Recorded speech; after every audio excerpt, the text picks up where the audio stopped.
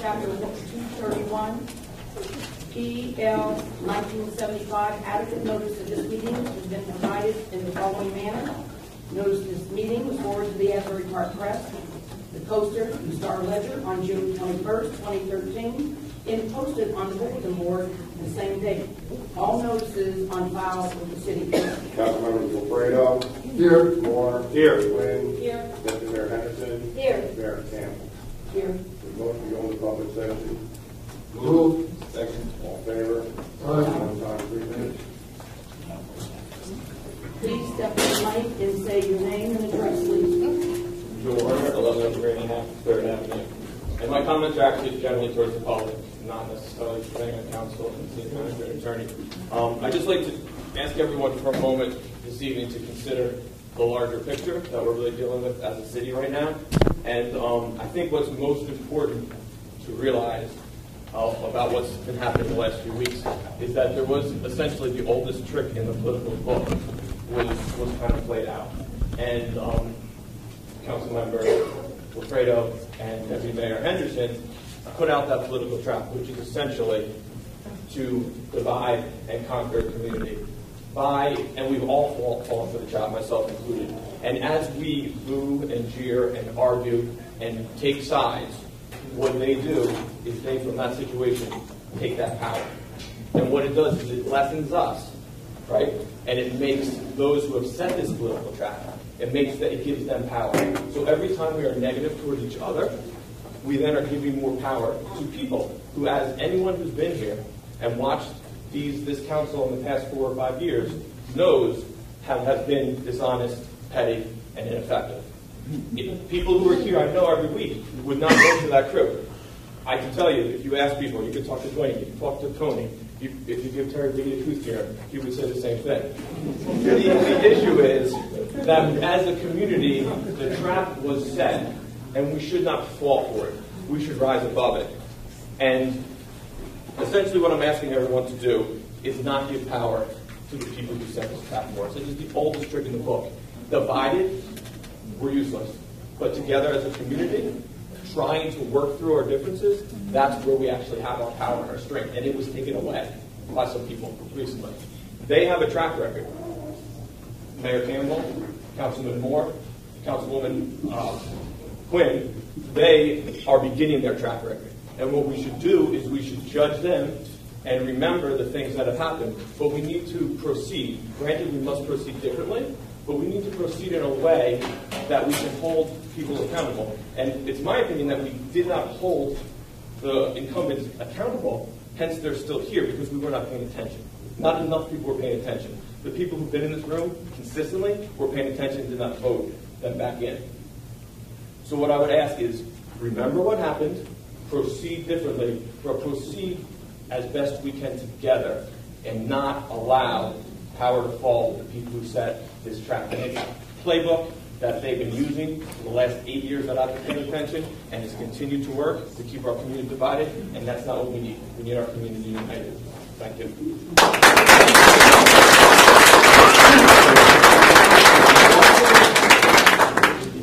Jim Key, 646 Cookman Avenue. Uh, Madam Chair, I want to know if you'll be enforcing the three-minute rule, first of all, during... Yes, I will. Okay, just so you know, having sat there when it was put into place, it is at your discretion. So if you feel that someone at the microphone needs extended time, you can offer that.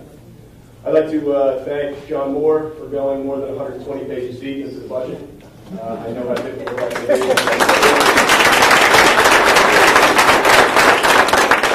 be. With regard to the playground, as father of a five-year-old, I'm happy this is finally being talked about. I don't know how it hasn't happened to this uh, point. When Belmar had to rebuild an entire boardwalk, and they rebuilt four playgrounds for our former council, why did this take so long? Okay. Finally, and most importantly, I know all of you are aware that near 400 Asbury Park voters have been disenfranchised by the Monmouth County Board of Elections in our last city council election. This matter is currently before Judge O'Brien in Monmouth County Superior Court. A number of those voters who were disenfranchised are here in the audience tonight. Uh, Mayor Campbell, I know that you've said publicly that you support these ballots being counted, even if it means you losing your seat, and I appreciate your commitment to our representative democracy in that matter and the principles that we stand for. So given this, I'm requesting that a resolution be put forth tonight during the regular public meeting that the governing body file an amicus brief with the court supporting that those ballots be opened and counted. And I would like to know, Mayor Campbell, if you would be willing to put forth this, a motion for this resolution. I will be conferring to our attorney to get advice on that. If that, that motion is put forth, if it is seconded and a roll is called, Councilwoman Quinn, would you be supportive of that? I'm supportive of, of counting proper valid ballots, yes. Councilman Fredo? Going forward on the sixteenth, in my opinion. Is it a yes or no question? If you would support a resolution being passed to file an amicus brief. It's ridiculous, absolutely. Okay. Deputy Mayor? Again, I would confer with my lawyer on this, but at this point, just to bring it up very quickly and have this uh, as an ordinance, absolutely not. Well, wouldn't it be an ordinance, it'd be a, re- a resolution to file an amicus brief with the court in support of Mr. Harris's case, to have the more than 320 ballots in question open, and then the 80 or so accounted for. No. Councilman Moore? I've said from day one, and I'll say till it's over with, I think every proper ballot should be opened and should be counted. Thank you. They said no.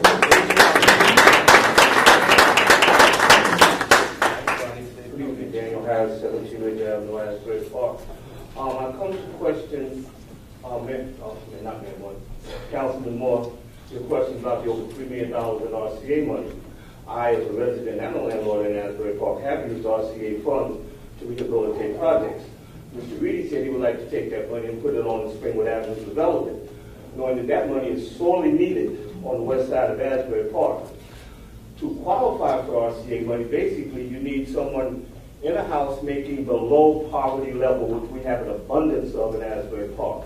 That money is to improve the quality of life for residents who cannot afford to improve their own apartments. Obviously, it, gives landlords fifteen thousand dollars per unit, which means if you have a if you have an apartment house with say four units in it, and you have four people, four families in your house making below poverty level, you can get sixty thousand dollars of free money as long as you hold on to that property for ten years to rehabilitate your house. Three million dollars on the west side of Asbury will be a fantastic shot in the arm. I'm asking the mayor and council to form a committee tonight made up of the planning board, a member of city council, and residents of the west side of Asbury Park so we can review how the RCA money has been spent and further give recommendations to the city as to how we can better spend it to improve the west side of Asbury Park. Thank you.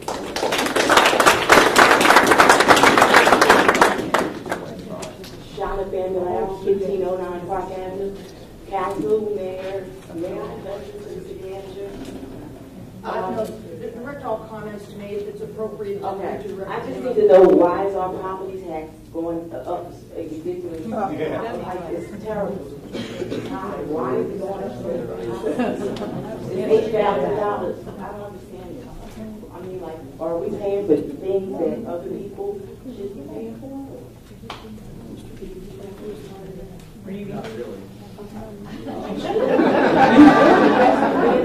You, you're managing the city and doing a terrible job.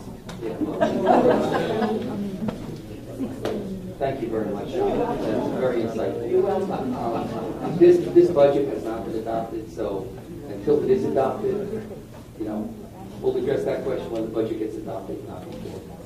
Okay, then now I have a comment. We need a, a citizen review board because look, the police are messing with our good children. They out, they out there harassing the good kids and letting the criminals get away with crime. I'm not against the police, only the bad ones. So I don't know you think about this, because the police department is in disarray right now. I can't, when I went there the other night, we, I couldn't even get a, a hold with nobody, because you got this number, we have to call this person and that person. What, why can't we have, like it used to be, a dispatcher right here, where we can speak directly to somebody? That, that, that makes people relieved and don't want to pursue what they need to pursue. The- I don't know, but somebody needs to like get the police department on check for three hours right now. That's it. That wasn't it. They had till ten o'clock. Sorry. Nicole Harris, 17 Ridge Avenue. Um, Mayor Campbell, I have a question. Um, Is it true that the Jazz Festival has been canceled? As reported, it it has been canceled, yes. Um, I wanted to bring that up as a concern to myself, uh, concern. One, because I believe this is an event, um, it's been an annual event that the community has looked forward to. Um, especially a lot of the churches in the area, being that Sunday was gospel day. Um, and a lot of churches participated, their choirs participated. And while I certainly support, um, the beachfront area, you know, hosting events that bring in um, revenue and bring in tourists and things of that nature, I think that it is important that we have events here in the community that the community looks forward to, um, especially the churches. Um, that event on Sunday was great for our churches in the community. We are in Asbury Park, named after Bishop Francis Asbury. We are a community based in uh, Christianity. So I don't understand why that event was canceled, being that it was one of the only events on the east side that was catered to the residents who already live here. I don't have an answer for you right now, but I certainly will look into it. Mayor? I- Yes. I, I could, I could spread some uh, light on that. As, as, as I, I suspect you know, this is the 25th anniversary of, of, of the Jazz Festival. And there was a lot of planning. Um, Kevin Sanders uh, and the whole committee worked on putting together what we wanted to be a very special uh, festival. Combination of um, dealing with Hurricane Sandy and recovery and all that went into that, and the cost of putting on a festival that really would be representative of 25 years, it just wasn't going to happen this year. So uh, we are currently, as a matter of fact, I think Tom Gilmore had a meeting just today with, uh, with someone working on to put that event on. So in order to do the right job, um, uh, we estimated that to put the jazz festival on this year would be over forty thousand dollars to get a decent jazz festival, which we weren't going to pay for out of the budget. And so raising funds for that was the challenge. So what we've done, we've taken a step back. Um, the festival will happen, and we haven't picked the exact date, but it's not going to happen in the next couple months. So we're planning on putting together a festival that uh, the community deserves, especially for the 25th, and that's what we're working on right now. I appreciate you answering that question. Um, I do want to say this. I have gone down, and I make a point to go down to the boardwalk after the events are hosted. Uh, there's a rock concert or a festival that's hosted on the boardwalk. I think maybe this is, a- I don't know if this is the third year it's been done. That boardwalk is torn to pieces after that festival is over, meaning it's trash. Meaning there are young kids that come down here and do whatever it is that they're doing. I don't know if they get high or get drunk and they're tearing the boardwalk up. And then they leave and they go home. Now, I don't know if it costs forty thousand dollars to clean up that mess, but I think forty thousand dollars spent on a jazz festival for this community will be money well spent.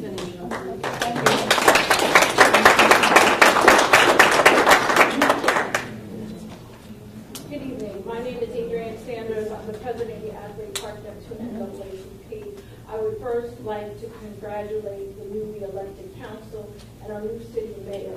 I'm here to say this evening that the Asbury Park and NAACP, we are not going to support in any form, shape, or fashion the name calling and the blatant disrespect of this man.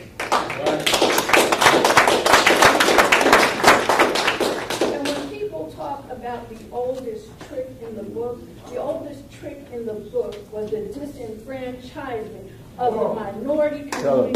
So the failure to count that, those ballots has disenfranchised the vote of the African American community. So let's get it really straight. Now let's get, let's get it straight. Let's point the blame where the blame truly does lie, because that voice has been silenced. So until those votes are actually counted, we don't even know really who the highest vote getter is sitting on this council. Mm. It may not be even any of you. So we need to keep that in mind.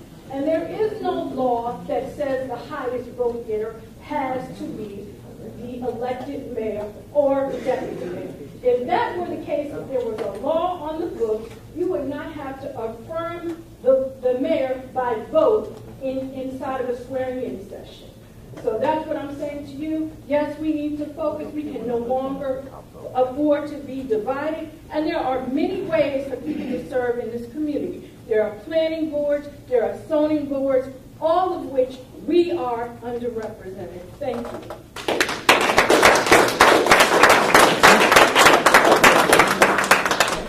My name is Felicia Simmons. I live at 4210. My name is I live at 4210 Summerfield Avenue.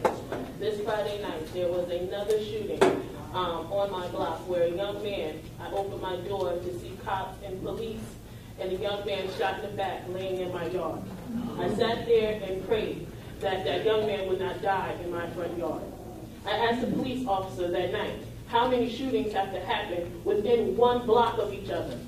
There's been at least, you can stand at my corner, which is, they tore my, my gate open, and see four shootings that's happened here in the last six months.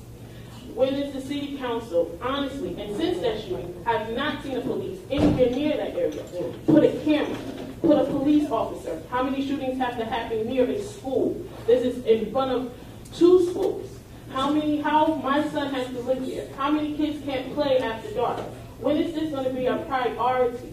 Is this town is a mile, 1.4 miles. There is no excuse why there is this kind of violence on one side, in one exact area of this town where it is not being addressed in an immediate fashion. I should not have to have bullet holes in my house, blood in my yard, children dying on the corner on a regular basis.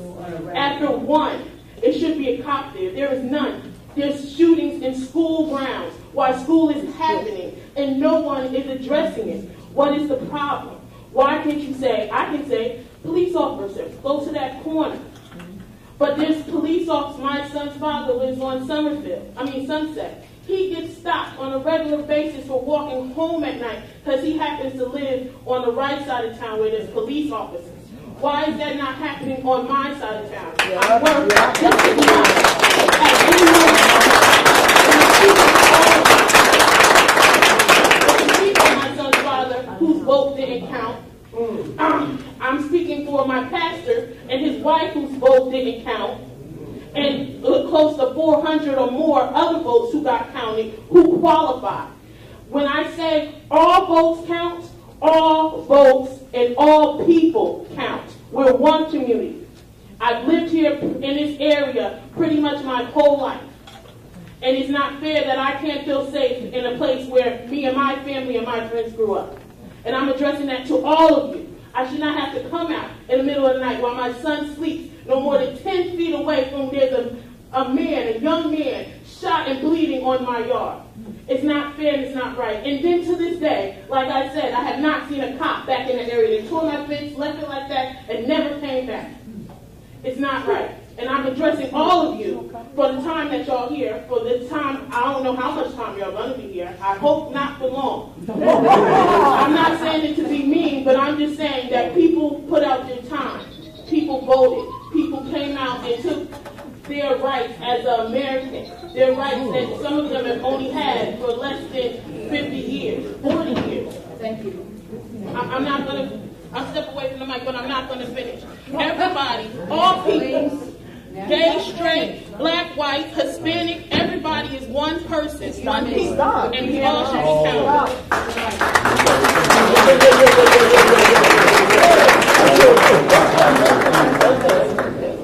Good John Wilson, ten twenty-five Second Avenue, Asbury Park. Wow. I mean, she says I'm you. I have to say, what I have to say is almost meaningless after listening to this here. It scares me just to hear her say that, and the passion that she showed. It goes directly to what I'm here to say. I'm of the belief and I have a position that is more important how governing this. And I want this council to govern, but you will not be able to govern properly until the vote is counted. So my question would be, and my statement would be, any other kinds of business that you're trying to get of should have to wait until the vote comes in. And I think that's vital in how you begin governing properly. And thank you.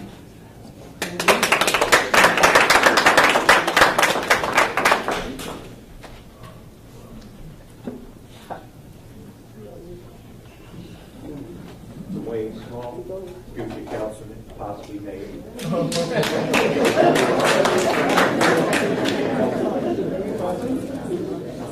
First of all, I would like to thank everybody for coming out. And I watched the video of the swearing and I couldn't make it because I was working. Unfortunately, I'm one of those who got to work every day to myself.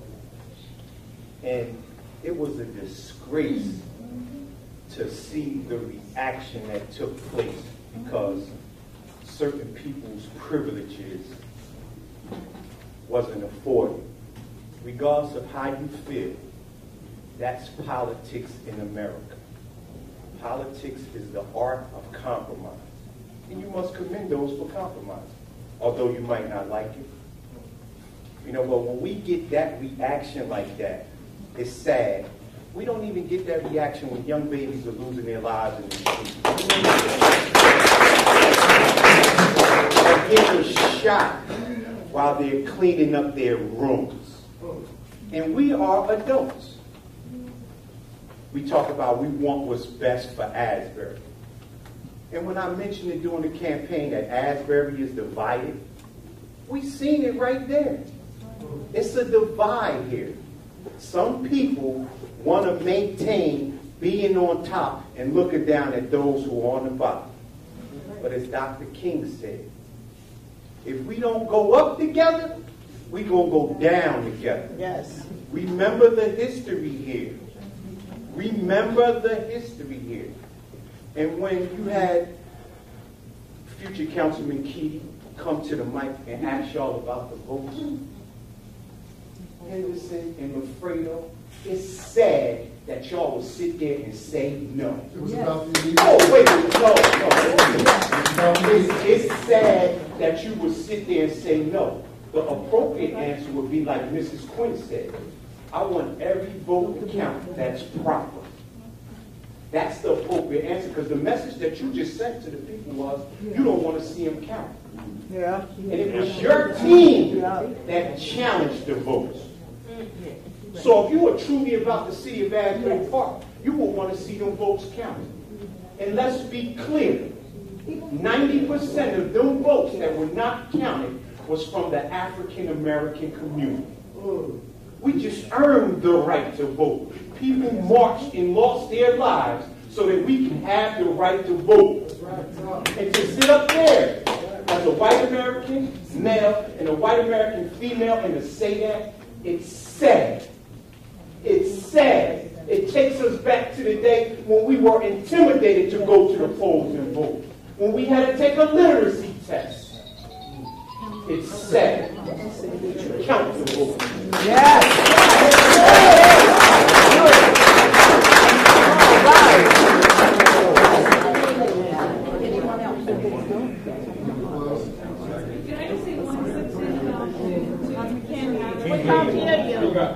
So just two quick things to Mr.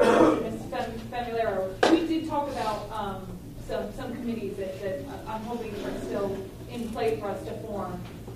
And it's budget, it's quality of life, it's addressing some of the things that you're talking about. So, so FYI, I, my hope is that those committees that we talked about, um, to address some of the things that you're talking about and, and having the community involved in them is still in play. Good. No, no, we just made a motion. Matt Pisano, Grand Asbury, Grand Avenue, Asbury Park. I'm sorry, I'm a little worked up. I came here to talk about parking and code enforcement, and I'm not gonna because of all that's happening here. Um, I just, you know, want to let you know that I've been a member of this community since 1999, and I came to Asbury Park from New Brunswick, which is a diverse community, and, and I love Asbury Park. I love all the people in Asbury Park, and uh, you know, I really want to see harmony in this town. I really do. And you know, I don't care who's the mayor, who's the council, whatever. What I'm looking forward to is change. Okay, so instead of looking at the front of this book, I'm going to look at the back of this book. And the back of this book is a blank sheet of paper, and that's where we should all start right now. Okay, thank you.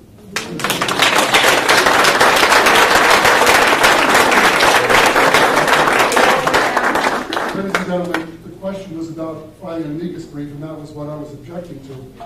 I had already stated when I saw some of the names that were refused, actually they were told to me, I didn't understand it. So of course, any legitimate vote should count. That, that should go without saying. Also, um, some things were said tonight about backroom deals with processing. Our process is what it is. The people elect the council, the council elect the mayor. That's by statute, ladies and gentlemen. Now, here's the thing. If we don't like that, if we don't like the form of government that we have, let's change it. And now we've got that opportunity, don't we? Thank you, but don't get up here and make accusations people that have served this community for years before a lot of others even lived here and make false accusations. Thank you. Thank you.